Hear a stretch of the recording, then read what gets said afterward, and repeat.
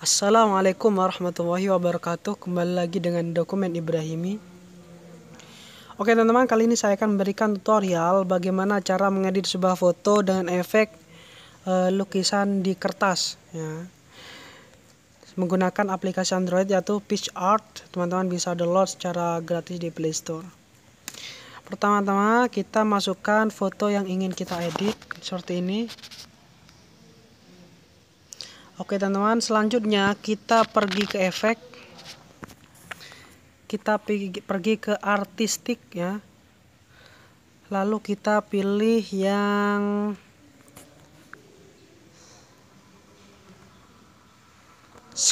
scatter 1. Scatter 1.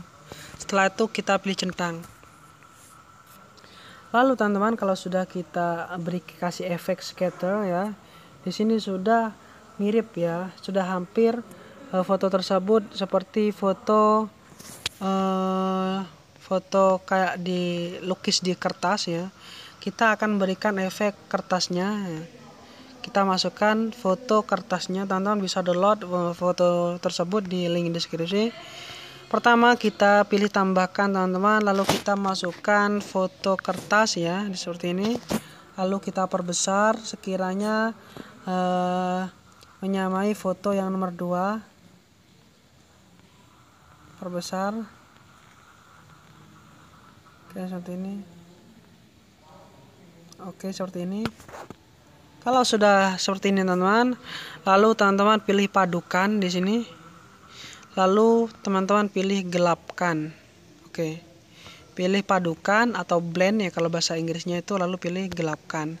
Setelah itu teman-teman tinggal centang maka jadilah foto tersebut dengan foto efek e, lukisan di dalam kertas.